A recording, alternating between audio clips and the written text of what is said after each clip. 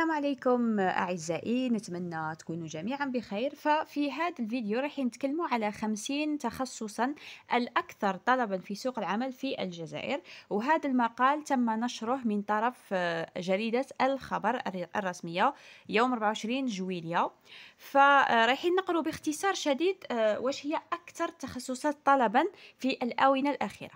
بادرت الوكالة الوطنية للتشغيل باقتراح 50 تخصص الأكثر طلبا في سوق الشغل والتي تم إحصاؤها في سجلات الوكالة في السنوات الأخيرة وهذا لمساعدة الناجحين في شهادة البكالوريا لمزاولة الدراسة الجامعية في هذه التخصصات. فبمبادرة حملت شعار اختيار التخصص نجاح مستقبلي أعلنت الوكالة الوطنية للتشغيل عبر صفحتها الرسمية في فيسبوك عن قائمة تضم 50 تخصصا مهنيا في مختلف المجالات العلمية لمساعدة الناجحين الجدد في شهادة البكالوريا في التوجيه نحوها لضمان مستقبلهم حيث أشارت إلى أن اختيار التخصص الجامعي يعتبر خطوة قادمة للناجحين في شهادة البكالوريا والتي تعد حاسمة آه، وقاموا باقتراح التخصصات الآتية.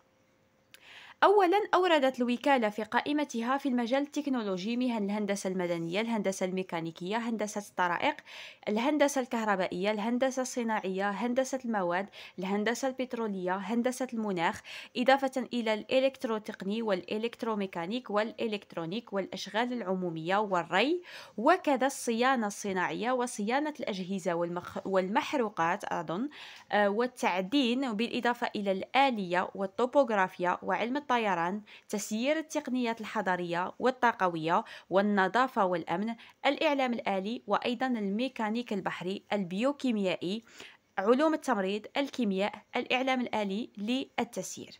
إضافة إلى آه، التجارة الدولية الاتصالات التسويق اللغة الإنجليزية التغذية في مساهمة لمساعدة المتوجهين في اختيار مهنة المستقبل بمناسبة انطلاق التسجيل الأولي ف آه هذه كانت أكثر التخصصات اللي عليها الطلب للشغل. فأنتم جماعة اولا أنا دائما ننصح التلاميذ أنه اولا تختار تخصص اللي أنت تحبه اللي عندك ميول فيه اللي عارف روحك تقدر تنجح فيه و أو ميم طون شوفوا تخصص اللي يكون فيه مناصب شغل. هذا ما يمنعش أنه تخصصات أخرى كذلك موجودة ومتوفرة مثلا كالفرنسية كاللغات الأجنبية المختلفة كالترجمة على سبيل المثال كتخصص مثلا تاريخ جغرافيا فيزياء سيونس هادو آه، اللي يعاونوكم باش تدخلوا لمجال التعليم.